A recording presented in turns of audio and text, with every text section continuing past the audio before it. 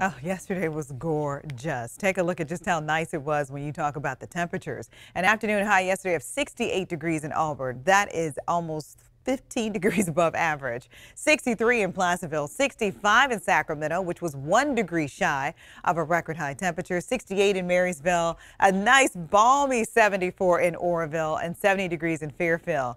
So you probably noticed the temperatures have been really nice. We've got tons of sunshine, so we're warming. Uh, here's a look at what it should feel like this time of the year. 56 in the afternoon, 39 for the morning. The record for today's date is 68. Don't get excited. We're not going to get that mild today.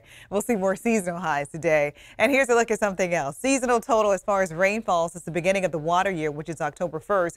More than 14 inches of rainfall, and we are close to 7 inches above average. So we don't have any rain on the weather menu just yet, but thank goodness we have such an ample surplus thanks to those atmospheric rivers that we had uh, late last year.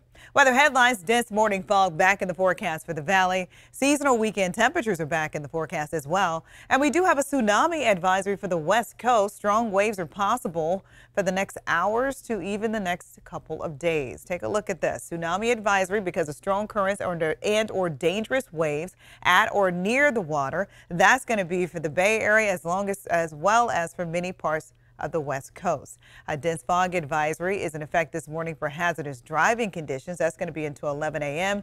And here's a look at the concerns. Zero in Sacramento, a tenth of a mile in Fairfield, three tenths of a mile in Stockton, as well as into Modesto. Outside right now, upper 30s in Sacramento and Marysville, 40 degrees down in Stockton, lower 50s coming in for Placerville. As far as afternoon highs today in the foothills, we'll see near 60 for afternoon highs, overnight lows near 40 degrees.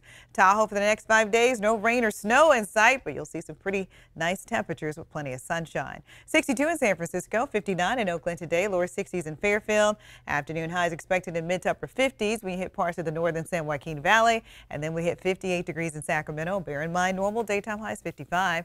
10-day forecast, so we'll see uh, plenty of sunshine well into next week, and unfortunately, no rain or snow is in the forecast.